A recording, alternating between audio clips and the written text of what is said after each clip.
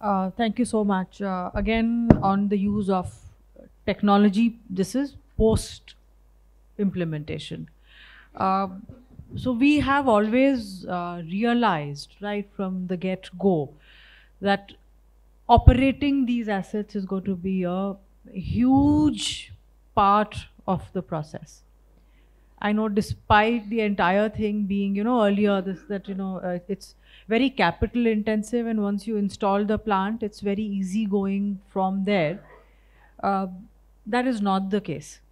And see, we work primarily, you know, we have open access projects, but the bulk of our projects are rooftop projects, industrial, uh, diff and all, so literally distributed across 20 states in the country ranging from uh, you know uh, the large plants are like six uh, six and a half megawatts in a single location and the small ones are 80 100 kilowatts.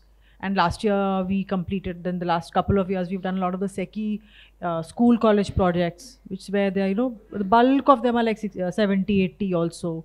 Even if the entire project size is 200 250 they're distributed across different roofs which are much much smaller. So the one on the monitoring. So each of our sites, and we have over 200 project sites, each site is remote monitored. Each site. And we have a control room in-house uh, within the uh, office where we look at the output. The other unique thing that uh, we do across the board is string level monitoring. So even my plant at Yamaha Noida, which is a six and a half megawatt plant. That, that also has string level monitoring. I am not doing uh, inverter level monitoring. So the minimum unit that we have data analysis for is say 6, 7 kilowatts. Obviously, we're not looking at the entire output. Then we have built intelligence into it. You know, what are we trying to do with this string level monitoring? What are we trying to understand? A lot of the output that we get from our sites goes into building the forecasting for future projects as well. There are places where we have, uh, you know, irradiation sensors, uh, uh, uh, places where in clusters where we have put pyranometers. Because we know that the, uh, the numbers that you get are far more accurate and you're expecting a lot of business in that particular zone. And all of that is being monitored. The other thing that we then monitor is, uh, not sorry, before monitoring, is the prediction, right? When I uh, set up a solar plant, there's a cost of setting it up, which is pretty much the same across the country. But the re revenue changes depending on the irradiation of a particular site. And then when you're working on the rooftop, the vagaries of that particular roof, right?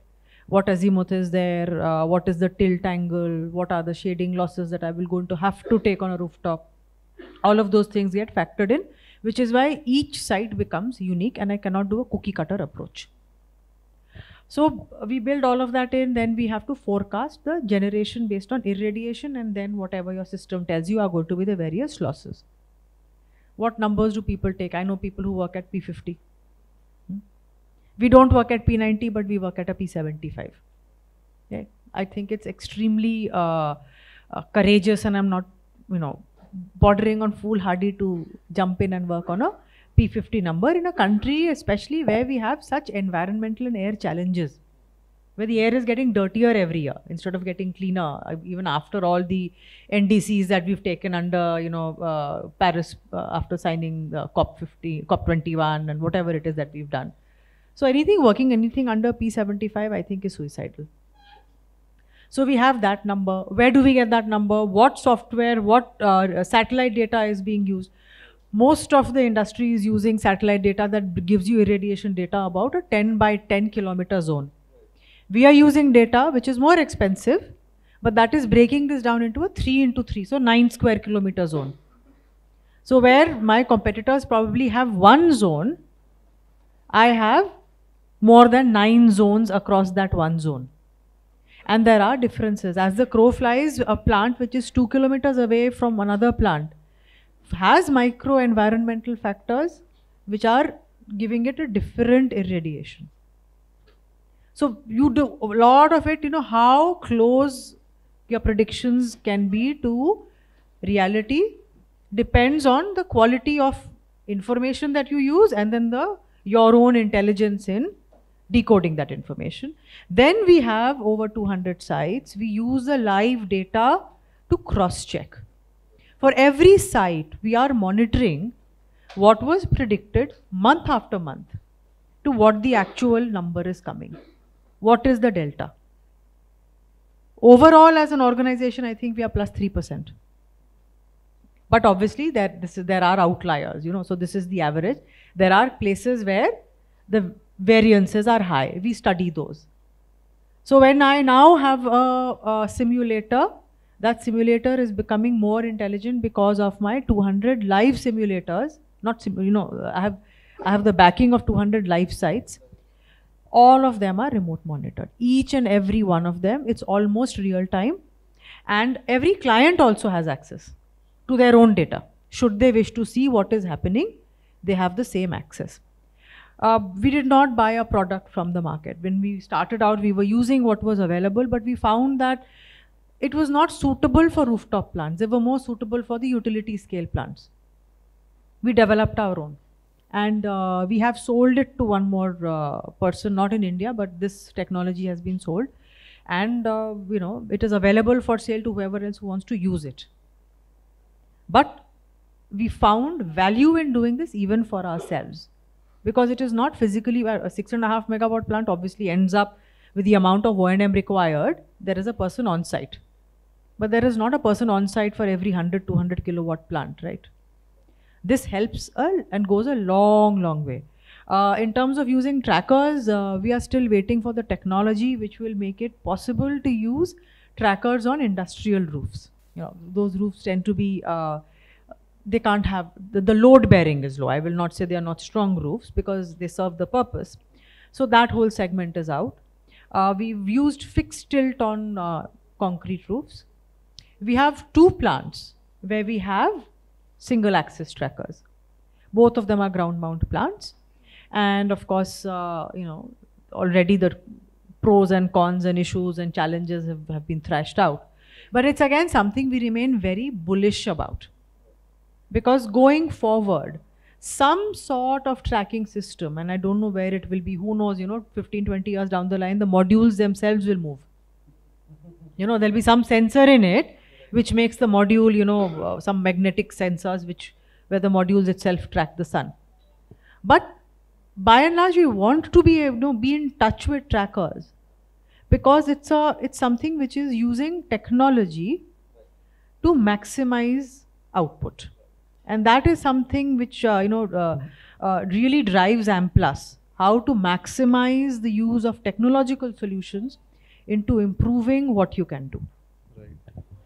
Thanks ma'am. Uh, better data analysis better revenue prediction better irrs so this is all about technology use of drones iot now we come to the last topic, challenges in land possession, grid connection, on-ground construction issues. So I would request Mr. Vikas to put some insight. I think land possession though is uh, definitely a, a, big, big challenge today, but uh, different policies and different uh, activities are definitely there. In the recent tender which is happening in Uttarakhand for 200 megawatt, where you know the government has said you know the uh, the land uh, is has to be you know from the localites of Uttarakhand only so that is one of the unique tenders I would say. But in general, if we talk about uh, land base is definitely a big, big challenge because with many of the tenders which we have, you know, if we talk about our 100 megawatt in NLC, we have almost all the land available, plant is ready for commissioning, but the last leg of land required to complete that last connectivity is becoming a hurdle because all responsibility remains with the developer. And the moment you the local people come to know about the requirement of land all of a sudden the prices surges and then you know some people get stuck up that they will not give the land they don't want to sell the land. So the, all those liabilities comes on the developer. So here again you know uh, i would request you know that uh, as as an industry or as a state government or the central government for the large pool of lands they should uh, you know take initiatives. They have taken in certain of the projects. Like mp Rewa was one case which i remember you know where where government uh, gave that kind of uh, you know support to the developers so something like that is required to make this industry, you know, uh, run faster. We, we, we, you know, reduce the execution time. So when we are talking about the commissioning of solar plant in six months to eight months, that can only happen if, you know, all other things are in place. It, uh, you don't have to run around for land, getting those land by land agreements, uh, meeting different uh, farmers, different customers. There, this land bank is not with one customer; it is multiple customers. So that remains to be addressed. But definitely, you know, uh, it, it is uh, good in certain places. In certain places, it is a big challenge. And grid connectivity, again, you know, as I addressed in my previous, uh, you know, point, that grid connectivity is there in limited areas. You don't have substations across the country today. So that is uh, another big challenge we found, uh, find that, you know, where the land is available, grid is not there. So uh, the, the land availability and grid both have to, you know, be available and where the state or central government definitely has a big role to play. That can only be done through them. No, I, I- just wanted to touch uh, one point, uh, you know, which is, uh, uh, you know, the panelist here talked about putting a nice plant, using the right technology and uh, related things. And one of the areas where we find many times the users or the buyers are little bit not sure, that is efficiency versus availability you know, uh, we get carried away by the efficiency many times. Oh, this particular inverter has so much of efficiency, and this one has less efficiency. But the way we at SMA work, we focus more on availability. We focus more on how to select the right components so the product has a life cycle which is needed for the plant as we all talked about 20 to 25 years and also is availability high. Of course efficiency is also taken care but more emphasis while selecting the components designing the plant are on availability part of it and that is very important as we move ahead and we want to improve the IRR and the related things uh, in the investments we are doing. A brief I want to talk about the safety part of it also because it is equally very important. You know not only for how the modules are uh, uh, you know installed and uh, the area around it to be safe even for inverters you know in terms of ground faults in terms of you know other related arcing and things like that it is very important to look at those point of view. Because it can be very very hazardous at times uh, to the people who are working around that area if the inverters which are designed do not have such intrinsic safety features in those. So i just wanted to add these two points uh, uh, to the thoughts what others have given Uh, Mr. Animesh, uh, you're in, if you can give some inputs on construction issues, last topic, uh, on ground construction issues. Uh, Very brief. Basically, Ru- Godrej is uh, operating in uh, rooftop segment, and our main focus is into rooftop.